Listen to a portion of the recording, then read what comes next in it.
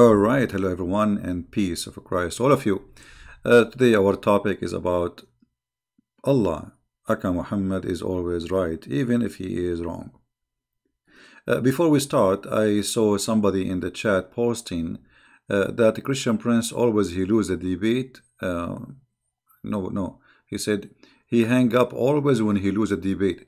Well, as I remember, last time I spoke to Mimi Hijab, he hung up on me seven times and he muted me more than ten.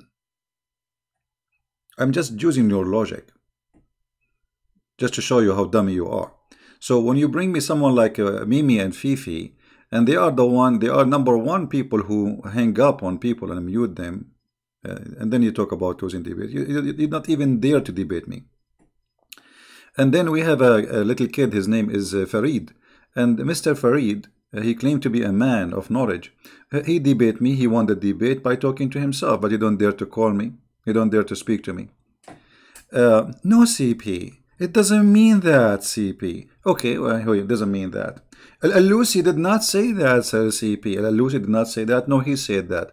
In fact, he was quoting the Christian CP, where it says in the page he was quoting the Christian. I mean, but a bunch of liars and whatever you say, the Muslims agree with you in the chat, but the, the video is there and the chat is there.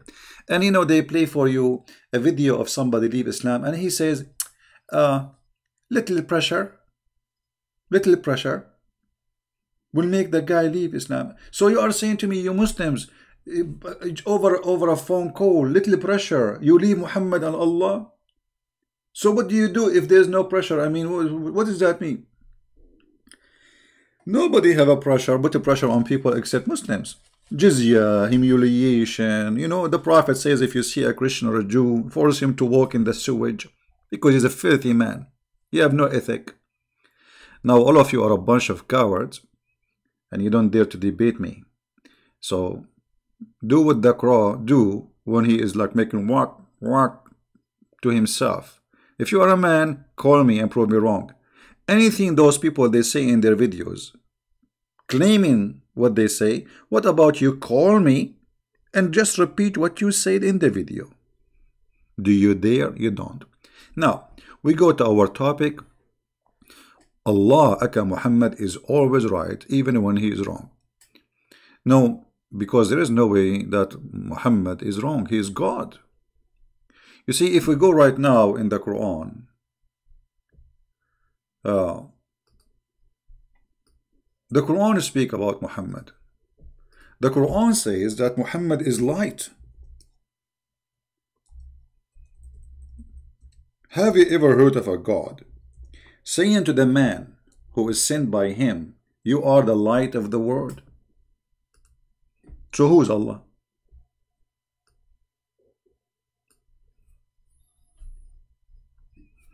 Muhammad is a lamp.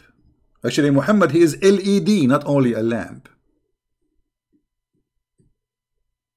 How Allah, he is supposedly the creator. I forgot, he is the best of the creators. he is the best of the creator or creators, as the Quran says, which is very funny and stupid, because claiming to be the best of the creators, that means you admitted there is many of you, and you are the best of them right? And then the best of the creators saying that Muhammad is the light. He's a lamp. Okay, let us discuss how Muhammad the lamp work. Do work do Muhammad work by electricity or by the energy of Allah? If we go and examine the lamp, we will find the lamp is always off. The lamp is always off. It doesn't matter what you do. Let us see an example.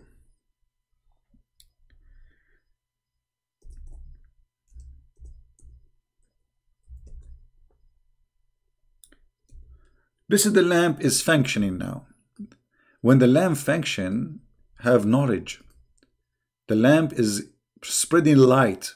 And what this light is teaching us, that the black dog is the devil. They asked the prophet, Prophet, what distinguish, what distinguish the black dog from the red dog or yellow dog? He said, Oh, son of my brother, I asked the messenger of Allah as you are asking me. He said the black dog is the devil. So now for sure this is the lamp is uh, talking, you know. This is not a man, his name is Muhammad. This is the lamp, Muhammad the lamp. Muhammad the lamp, he's spreading superstition stuff like stupidity and claiming that a black dog, just because he's a black, he is the devil. And here you see Muhammad how much he hates the black color, claiming that the black color is the evil color. This is why he was making fun from the look of a black people. He said, you're obeying your leader. You know, Muhammad, he wanted to win a war. So he uh, gave some positions to black slaves because they are physically fit and they are strong. And those white Arab, they say, we will not be under the command of those people. They said, obey your leader, which I appointed, even if his head is what? Let us see the hadith. You remember the hadith, right?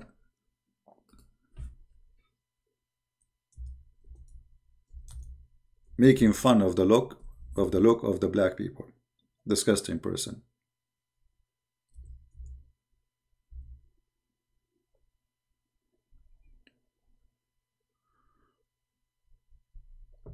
Even if his head is like a raisin we are made for made your chief you see it this is the light Muhammad the light for the world is teaching us wisdom.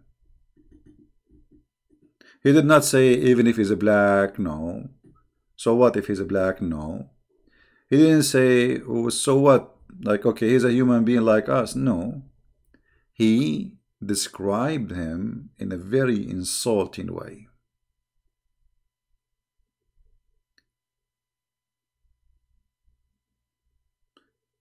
Now, today, we promised the Christians to take some calls from them. But if there is any Muslim would like to call me, please feel free, especially if you are a person who have a beard. Hmm? If you have anything to say to us to prove to us that Muhammad, aka Allah, is God.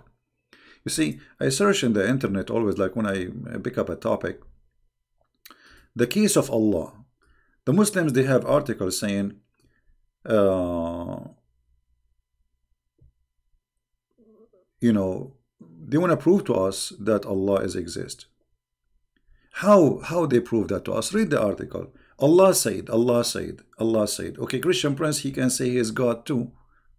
Mimi Hijab can say that. He's God actually. He's, you see his beard, he, he camping it always. And he's selling things in the stuff in the car. Allah said, a light has in you now come to you from God. Okay, how Allah is God and he says a light has come to you from God. So who is the one who's talking?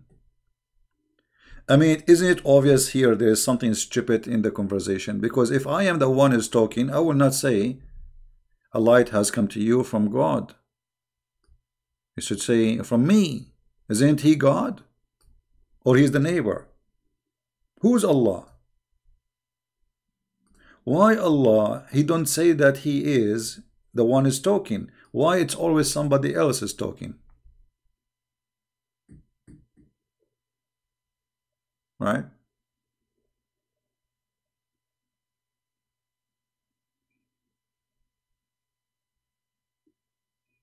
Any Muhammadan, he want to tell us. So look at this, how they prove to us of Allah. They say, Allah said, Allah said, Allah said. Eh, what is that? Truly, it is the remembrance of God that heart find peace. What does that mean? What is that?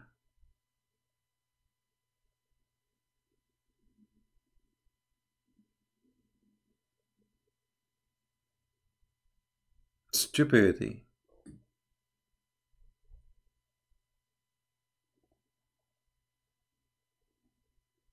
Yeah, the question is, can the Muslims say the same? Can they do they dare to say anyone can call us so Christian Prince can call them so we can laugh? But you know, we gave them we gave them opportunity. We called them last time. They hang up on me and mute me more than seven times. Cowards. If we search for different article, Allah, the only, uh, the one and the only true God in Islam. If, if, if, if, if, if, if. This is this is here you have to focus in the only I mean you see the only. Well no Allah is not the only because the, the the God is the one you obey blindly and that is Muhammad. Allah is just a name Muhammad he used to subdue you. As an example when Muhammad he made a verse in the Quran says any any Muslim woman she want to give her bum or private part to me Allah said that but there's no way there's God he would say to a prophet, any woman she can give herself to you. Why? What does that mean? What does have to do with God? The men already have tons of wives. What is missing here?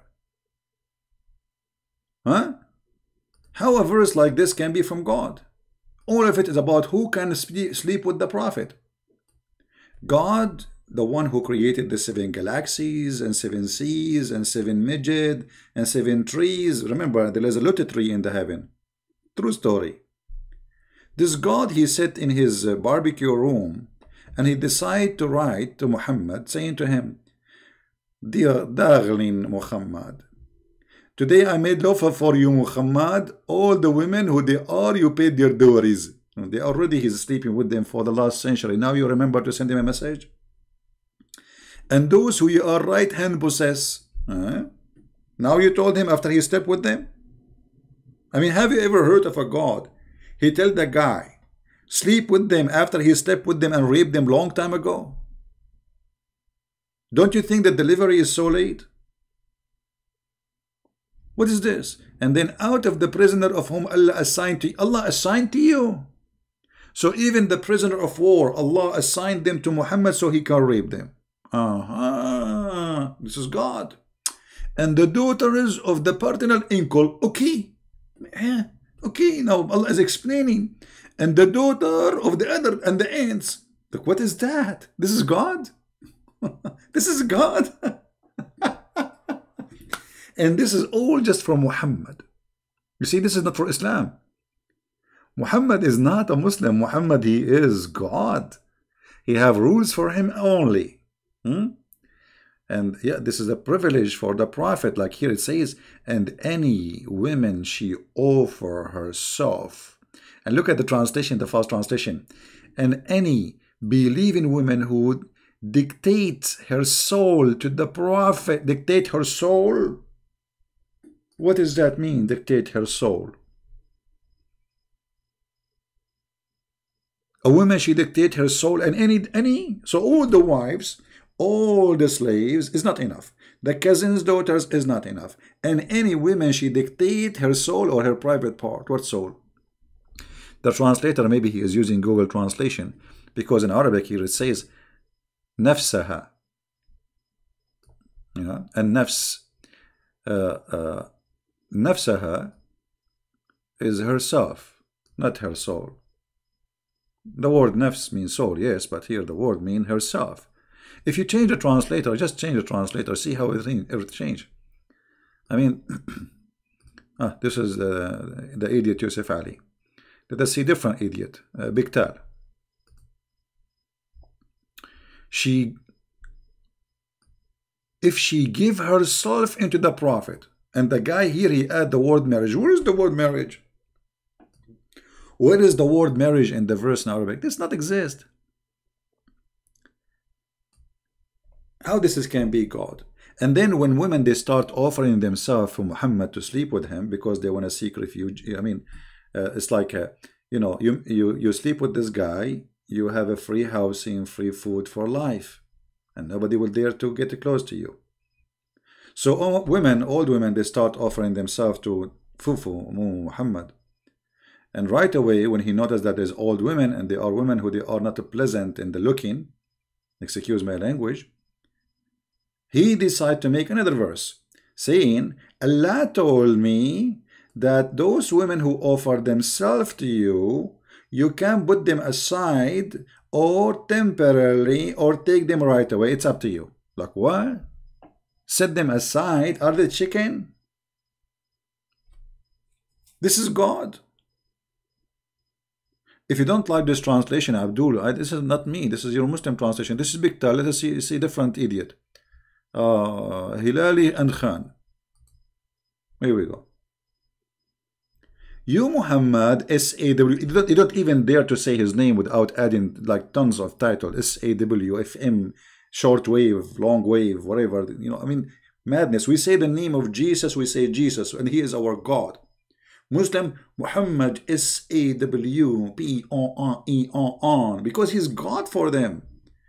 Pagan can post on the turn off whom you will of them what they are the coward your wives. Why it says wives those who they are offer themselves. Have you ever heard of a god like this?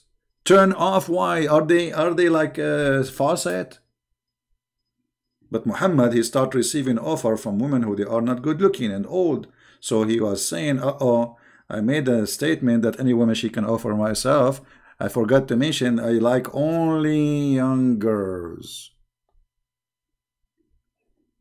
Someone saying, Jesus hate you. My friend, don't worry about Jesus. Nobody hate Jesus. Let us say Jesus hate me, but you hate Jesus. Because look what you do in Islam. All what you try to do in Islam is to put Jesus down and to put Muhammad high. You are the one who hate Jesus. In the top of that, Muhammad, the proof that Muhammad is a light for the world.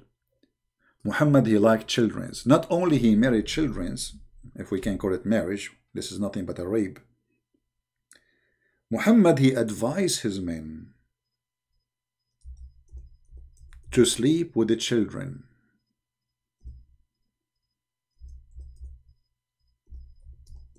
Here you see how much Muhammad is a very high noble person. Look at this.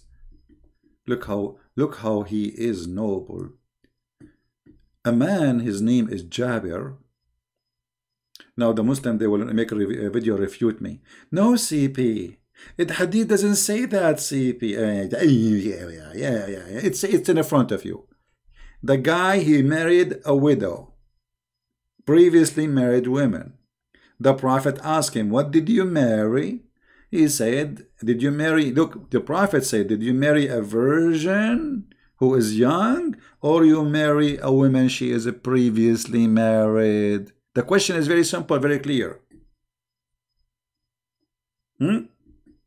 Muhammad, he is asking a very little, little, very specific question. Did you marry a woman or a child? This is what the hadith is saying. Read the hadith carefully because the Muslim they will say, well, no, he is not doesn't say that. Read carefully. Everything we say, it's in the screen.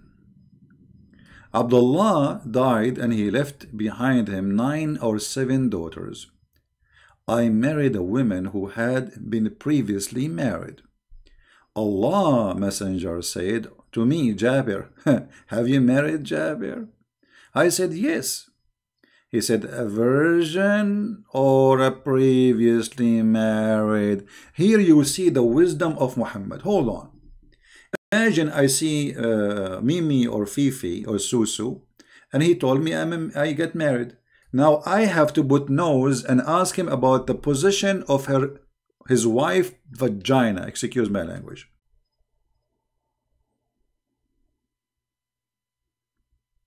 All right, guys. Sorry, I apologize. The internet, the internet is really horrible. I lost my connection. Um, I hope the sound is coming good now. Let us see.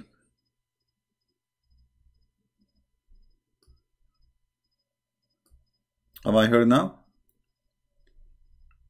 All right. What I can do, the connection, the, this internet is really bad. Um, as you know, I'm not home, so I cannot complain. Uh, anyway, uh, so if you notice in the hadith with us, it says he's asking is she a virgin or she is not? Ask yourself a very simple question. What is the business of Muhammad on such a question? How filthy. Imagine somebody come to your house and he asks you about your wife. He's, you say, he say to you, you married her. Is she a virgin or she is not? Isn't it? This is, this is an insult actually. If Jabir is a person who have an honor, he should slam Muhammad in his face, which is his butt.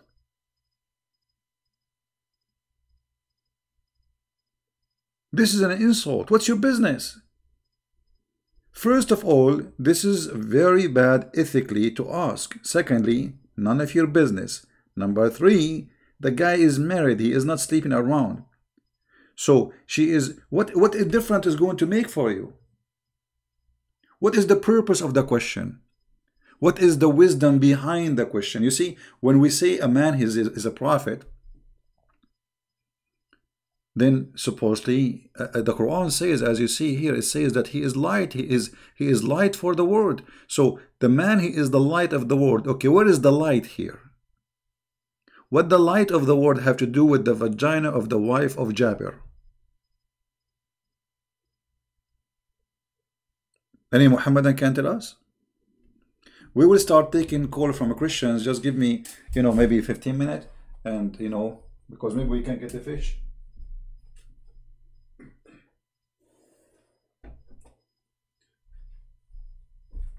So what kind of man this man is? And then look what the what, what happened after. I said, Messenger of Allah, uh, one were previously married, whereupon he said, Why? Why? Why you don't marry a young girl? You see the problem? Do you see the filthy prophet of God? The man is happily married. There's no reason for the conversation. He is not complaining to Muhammad. He is not complaining to anyone. The fact that hadith in different hadith says that he is trying to go fast home because he misses his wife. And now Muhammad is giving the amazing wisdom. But look what Muhammad did by saying this hadith. Uh, by the way, the Muslims, they will say, it's weak. Uh, the Prophet did not say that. No, he said that. Stupid idiot. Shut up. Shut up. Sahih Muslim, and we can show it to you from many, many sources. Why didn't you marry a young girl, a child like Muhammad? He married Aisha. And here we notice that Muhammad, when he did marry Khadija, this was not his choice. Correct? Because Muhammad, when, when, when a man advises you to marry someone she is not previously